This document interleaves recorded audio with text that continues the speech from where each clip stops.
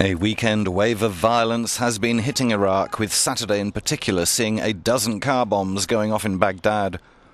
All were in Shiite areas, the deadliest being in Bayaa, where 23 people died, many of them young men playing billiards.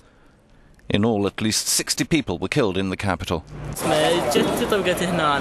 A car came and parked here, and its driver walked away. Ten minutes later, the car went up. All the shops were closed, but there were four boys collecting Pepsi cans from the garbage. All of them were killed, and a child and a man here were killed too, and his body parts are still here. Militants also stormed the university in Ramadi, which they've held parts of since the start of the year, and this came on the heels of fighting in Mosul on Friday that claimed at least 50 lives. On Thursday, militants extended control over Anbar province's other main city, Fallujah. The UN says in the last six months, the lack of security has forced 480,000 people from their homes in Anbar, the largest displacement since the 2006 7 peak in sectarian massacres.